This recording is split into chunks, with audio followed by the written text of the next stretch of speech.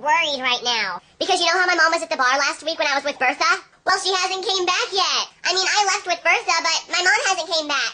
My mom told me that if she's gone for three days, then it's okay, but if she's gone for more than five days, I have to notify the police. And it's been like a week. Wait a sec, if I don't have a mom, that means I can do anything I want. I'm gonna cut out my mom's favorite pantyhose.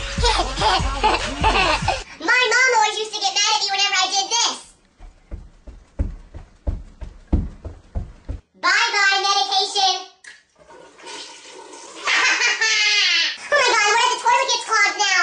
Then when I go potty, it won't flush. I'm gonna jump all over my mom's bed.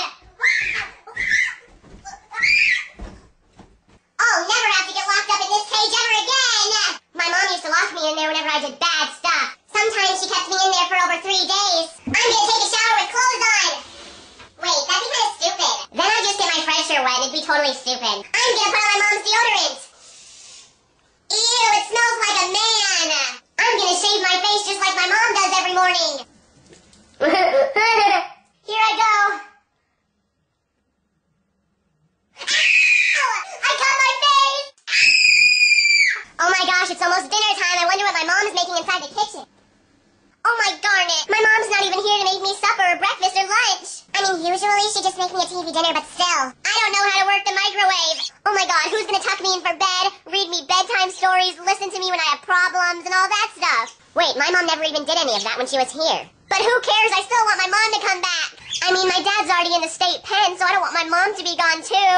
But I'm not gonna tell the police that my mom's missing. Because if I tell the police that she's missing, they're gonna put me in a foster home. So I'm just gonna make flyers and post them around town, and hopefully someone will find her. Okay, this is what the flyer's gonna look like. My mom is missing. Help! And I even drew a picture of her so they can find her better. Okay, well, I'm really scared right now because if my mom doesn't come back soon, what if that guy from YouTube comes over here and I'm all home alone?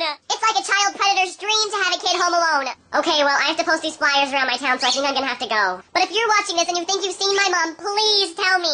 If you want to know what she looks like, she's fat, she has a big nose, her hair's shoulder length, and it's kind of scraggly. She really doesn't take care of herself. A common place you can find my mom is obviously the bar. You can also find my mom standing on corners wearing revealing outfits. She's never really told me why she does that, but she said it somehow makes her money. Who knows? Okay, well, I really gotta hang up all these flyers now, so I gotta go. Bye.